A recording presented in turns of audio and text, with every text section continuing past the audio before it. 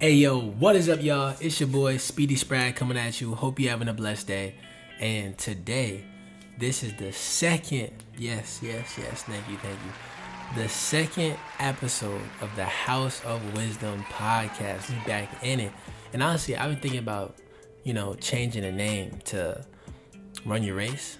Um, Run Your Race podcast. Kind of based off, you know, a Bible verse. Um, run your race, looking towards God, the author and finisher of our faith. Um, but I'm not sure. And this is kind of a good segue to the whole, you know, point of this second podcast, the whole message is nobody really knows what they're doing. Like I'm making this podcast, I'm trying to make music, I'm about to graduate college, I'm running track, I got all these business ideas, I'm going to grad school. Like, but I really don't know what I'm doing though. like some, you know, some I have some grasp of what I'm doing, what I want to do, where I'm going, you know, day to day.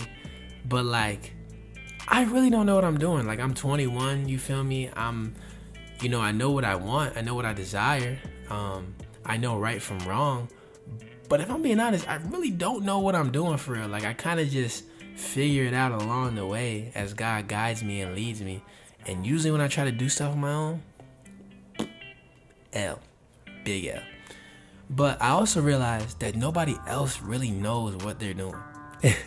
like legit, you know, I've been in internships. Uh, you know, I've interacted with professors, coaches, teachers, uh, older people, aunts, uncles, parents everybody's, other people's parents, etc. Like people who are CEOs and and successful even people who are in the NFL, people who are in pro track athletes, etc. Olympians, and like I don't care who you are, but I just realized going throughout this life, especially people my age, but even people who are like 40, 50, 60, they don't know what they're doing for real like we get a better grasp as we learn and grow but when life is crazy bro things will come and we've never dealt with that before. And even the like the mundane things we don't know what we're doing for real. And i keep emphasizing we don't know what we're doing um, because it's just wild to me. I feel like that's a crazy realization. Like humans go throughout this life and on our own bro we're lost. Look at the world bro Look at, oh my goodness, I, I could go on a rant. We had, there was a point in time where people thought slavery was okay, bro. Come on. There's a point. There's a point in time, and still some people today think they're better than somebody because the color of their skin. What? Hitler was murking seven million people. What? Like that? You know what I'm saying? Stuff like that, bro. But but like a large group of people were convinced that that was cool though. That's the wild part. So humans are are fickle, bro. We can we we can get so confused and lost, especially in a world where there's Instagram, there's um you know, bro, there's there's so many people telling us which way to go. Oh, this is the right thing to do. This self-help, try this or try this uh, manifestation or try zodiac signs. It'll tell you exactly who you are. And we come up with so many crazy, unique, different ways to, you know, navigate this life. But Jesus said He's the way, truth, and the life. He's the way, truth, and the life. And somebody explained it like this: If you go to Jesus and you be like, um, yo, Jesus, which which way should I go? Well, you should follow me. And then you ask why. You know, there's so many different paths. There's there's left, there's right, there's up, there's down. Why why are you the right way? Well, because I'm the truth. But why is it true? Why is your way true and the other ones are not? Because it leads to life.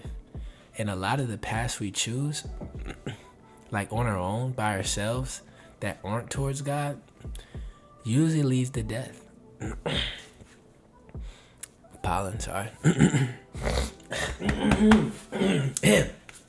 but nah, for real. like a lot of the ways they look good in the beginning. They look good on the surface. But once you get like deeper into it, you realize either one, you're not fulfilled, two, you're you're stressed out, maybe you're even successful, but it's it's not leading you to fulfillment. It's not making you feel whole. You have to get more and more of it. You're stressed. You have no peace. You, you could be the richest man in the world. You could be in the NBA, NFL, be a doctor, lawyer, making this amount. But if you're not at peace, if you're not, if your inside is in turmoil and your outside looks okay, then you're not really living an abundant life. And that's what Jesus calls us to. And it's not just talking about money, it's not just talking about success, because everybody's level of success is different. Making 50K could be a success for somebody. Making 150k could be a success for somebody. Having a nice suburban house could in a family could be a success for somebody. Having shoot, making 20k could be a success for somebody. And somebody's content to just live in a apartment and be vibing, you know what I'm saying? Shoot, somebody can be completely content with God and have nothing. Not a thing. That there's people in prison who made terrible mistakes, but then they repent to God and they're still in prison but they're content as can be. They don't have nothing. Maybe they don't have family, but they know they got Jesus. And they're completely at peace.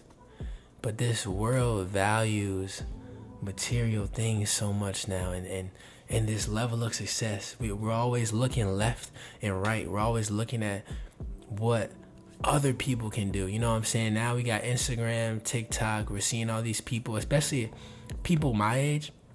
We're seeing people our age making like millions of dollars from TikTok or maybe a hundred hundreds of thousand dollars from NIL deals or TikTok or just getting famous off of YouTube and whatnot. But you know, if we go on TikTok, that's all we see. We're like, dang, this dude making that much, this girl making that much, and she just she's just doing making cooking videos. I don't know, whatever it is, like, or just doing dances, or like this dude's making this much, rapping on, you know, TikTok, whatever we see all that and we're like, man, what am I doing? Like, what am I doing? Am I not doing enough? Am I not fulfilling my purpose? Am I not working hard enough? God, what am I supposed to be doing that?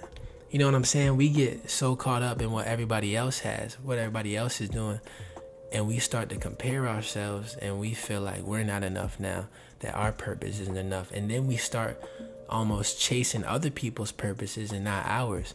Just because somebody's doing well in a certain area doesn't mean that's what you're called to. And uh, that's kind of getting to the point of this. Nobody knows what they're doing for real. And then the next thing is, well, how do we figure out what we're doing? and man, we got to ask God. We got to go to Him. We got to ask Him to make the vision plain.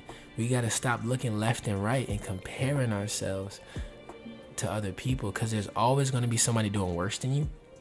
And there's always going to be somebody doing better. Like legit. You if you're feeling if you're feeling bad one day, you can just look to your left and be like, "Oh well, they don't they don't got nothing." You know what I'm saying? They're they're not doing good. Oh, I'm doing better in school than them. Oh, well, at least I have a girl and they don't oh well, at least you know I got a nice whip. You know what I'm saying? My my Charger looking real good. They don't got it. You know what I'm saying? We we can pick and choose based on how we're feeling, who we compare ourselves to. You know what I'm saying? If we feeling down, we'll just look left. Sometimes though, when we're up, when we're actually doing well, we for some reason we start looking to the right. Well, you know, I'm doing all right, but you know, they got this. They they they just got a job. They're making a 90k. Uh, I'm I'm doing good, but I'm not in a relationship. They got a girl, or or she got a she got a man. Like I just don't, you know, I'm not uh, I'm not happy. I'm not fulfilled. And we keep on looking to the right, to the next thing, and now what we doing isn't enough. You know what I'm saying? So looking left and right is never gonna serve you. It's never gonna. You're never gonna be fulfilled because you're not running your race. You know Hebrews 12 it says, run your race with your eyes. It says, lay down every weight and sin that besets us and run your race. Uh, focus on Jesus, the author and finisher of our faith. Jesus is the author and finisher of our faith. You know, he said we're going to endure to the end. He said if we started a work, if he starts a work, then he's going to finish it. So, you know, bro, it's like it's like I run track, right? I run 800, but say you're running the 400, you're in lanes. I ran a 400 the other day. The lanes kind of trick, like the, the lanes kind of tripped me up. But even in the 800, you start in lanes. If you're looking to your left, so say you're in lane four, right? You all start in different places. So lane one is furthest back. Then you got two, three, four, five, six. So when you start, in life, when you start, there's to be some people behind you, there's to be some people ahead of you. Even as you go throughout life, whether you're in your teens or your 20s, 30s, there's always to be somebody ahead or behind.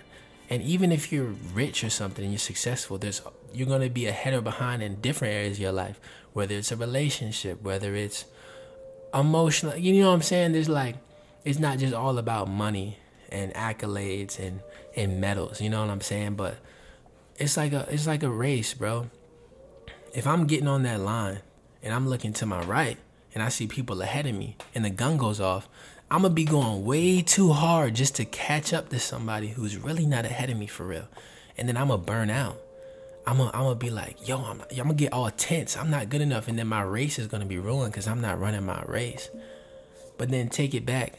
If I'm looking to the left, I'm gonna relax. I'm gonna be like, oh, I'm chilling. I'm good. They're behind me. But then you come around that curve at 300 and you've been relaxing the whole time. They gonna be ahead of you now because you were looking to your left. You you were actually you you felt like you were doing good, but you were just comparing yourself to people who were not as successful successful as you. Neither are good. Neither are good because if you're comparing yourself to people are ahead of you, you're gonna try to do things you wouldn't usually do. You're gonna try to, you're gonna try to. It, it's unhealthy. You know what I'm saying? You, if you're trying to work to prove that you're better than somebody or that you can catch up to somebody, it's not sustainable, and it's gonna lead to you not working from a place of rest. You're gonna be working from a place of like, almost like pride to prove that I gotta prove that I'm the, and that's not. That's why a lot of top tier i'm not gonna say all because that's not true but some top tier athletes you know they they finish their career and they not at peace because they were doing it to prove to the masses or prove to their competitors that they are that guy. They are that girl. But once you're done you know shoot you're gonna get older there's always gonna be somebody who can beat you. So you know they're always competing they're always trying to prove to somebody that I am the greatest. And I don't know if that's you know when they when they win, there's so much peace. When they lose, they're wreck. You know what I'm saying? But I also know athletes who, you know, they work at a place of rest, man. They trying to run their race. They're trying to shoot their shot. You know what I'm saying? And they're elite, bro. Like I mean, I don't know Steph Curry personally, but that seems like how he is. I don't know um, Damian Lillard, the stuff he talks about, that kind of seems how he is. He is focused on how good he can be, how good he can make others around him. He seems like he has a good faith in Jesus.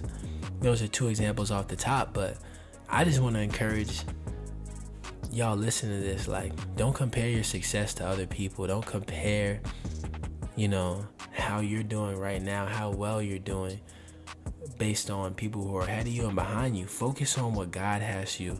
Go to God and be like, Lord, look, this is where I'm at right now. This, these are the desires I have. These are the goals I have. Lay it out to him and look what goals align with your will. Because at the end of the day, you could try your hardest. You could do anything you want to do. But at the end of the day, God's in control, bro. And and it could almost be scary because you're like, well, what if God doesn't give me what I want? Maybe He won't, but He'll give you what you need. Because God knows, God literally created the whole universe. He created everything. He created, He created whatever. Bro, if you love basketball, if you want to be a doctor, if you want to work for NASA, I don't know what it is. He literally, if you want to be a YouTuber, he literally created every person who he, he created the person who created YouTube. He created the person who created basketball. He created all the people who work in that space. He even create he like he he created everything. There is no YouTube without God.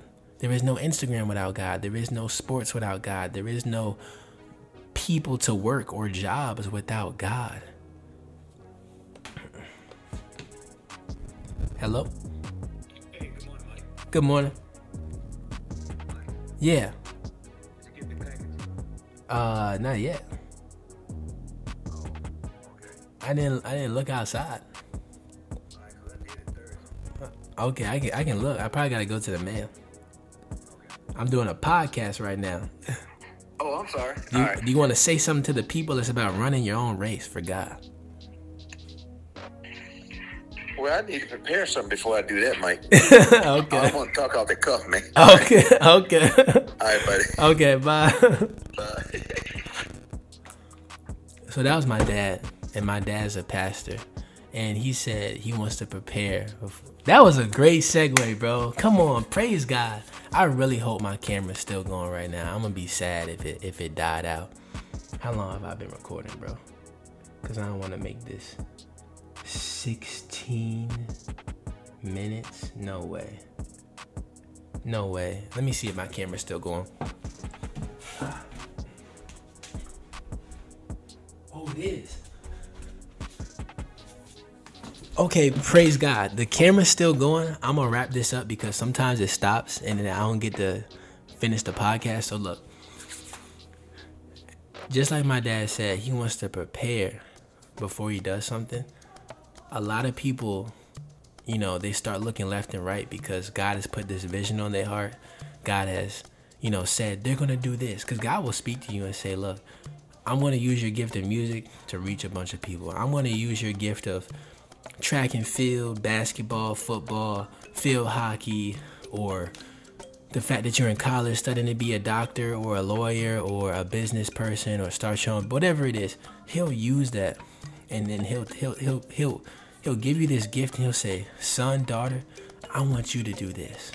It can be interior design, whatever it is. You're gonna do this. He'll give you a vision for it. He'll give you a word, but then that seed, that that word that he put in your heart, you know, the troubles of this world just, and, and the troubles of this world choke it out. It's like weeds. God will start, you know, you start seeing this growth. Then out of nowhere, you get all these struggles. You get anxious about the future. You see other people succeeding, and now you're feeling down about yourself. You're questioning what God has said. And that's just the enemy. That's just the flesh trying to keep you from your purpose. And the, the thing is, the preparation phase for what you're going to do is not going to look like what everybody else's preparation phase is. You see the stories, at, the NFL draft just happened. Everybody has a different story, bro.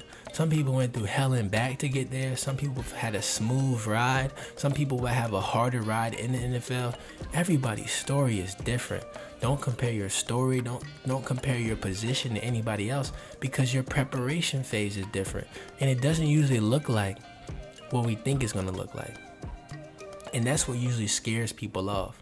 You know, God will give you this vision, but if you look at the Bible, bro, every person who had a vision, even everybody who had a mission and a purpose for God, the preparation phase did not look like what you probably expected it to. For instance, Jesus got baptized. Uh, God said, That's my beloved son. And right after he was about to go out and preach, bro, but he got baptized. He was ready to go. God was like, Good job, son. Immediately went to the wilderness, was let out, and got tempted. He didn't fall because he's Jesus. That's the man. But like literally, as soon as his ministry was about to start, temptation. Joseph got a dream. I'm gonna be king. Brothers sold him into slavery. Abraham, you're gonna father all these children and be the father of faith. His wife told him to get with his handmaid. Then had a whole thing. Had to send the son off. Then, you, you know, he temptation comes, bro.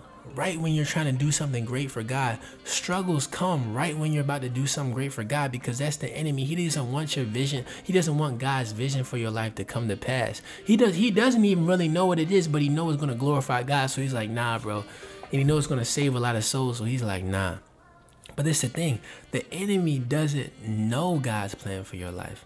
The enemy doesn't know what God wants you to do. He doesn't, because, bro, God would literally use that temptation, even use when you fall for his glory and your good. The enemy ain't got nothing on us, bro. He can try and try and try, but if God wants a, something to come to pass, if He has a vision for your life and you stand on it, you and you trust and believe, it is gonna come to pass, bro. Not once has His word came back void. Not once. Not once. Not one. So when that trouble comes, when the doubts come, when the world comes at you, whether it's friends, family saying you can't do it, whether it's your own thoughts saying you can't do it, that's just the end. whether it's just little inconveniences. You're trying to record a video, the video turns off. You know what I'm saying? You don't have time to edit the video. No, no, no say, God, look, I know you gave me this vision. The preparation phase is probably gonna be tough. It's not gonna be, it's not gonna look like what I thought it was gonna look like, but push through. Push through with the with the foundation that God is with you. And if God is with you, you cannot fail. Even when you fail, it's not a failure, it's just preparation. It's a setup for the comeback. Come on, that's a segue to my album called The Setup. Download it all platforms. The next album's gonna be hard too. But I'm gonna wrap it up right now, bro. Um, if you have a vision and God has given it to you, you got He's giving you the desire to do something great, to do something amazing, go after it. And when these distractions and inconveniences come, fight them off with the strength of God, with the with the you know, uh First Thessalonians five says, um, for the gospel didn't come in word only, but with power, the Holy Spirit, and assurance. Walk in that assurance that God if he's giving you a vision, he'll see it through. You're not alone. He'll put people around you. He'll pro- he'll provide for you, and he will show you the way. You just gotta trust. You just gotta run your race. Stay focused on your race. Don't look left. Don't look right. Don't look at what your, your you know your best friend is doing. Your parents are doing. Don't run their race. Run yours. Run at the pace of grace. You feel me? So uh, yeah, man. Will I change the name of the podcast to Run Your Race? Maybe. Maybe not. I'm going to ask God and I'm going to just keep on pushing. And that's what we all need to do because we don't know what we're doing, but God knows where we're going. Come on now. So, yeah, man. House of Wisdom, run your race, sprag out, be blessed.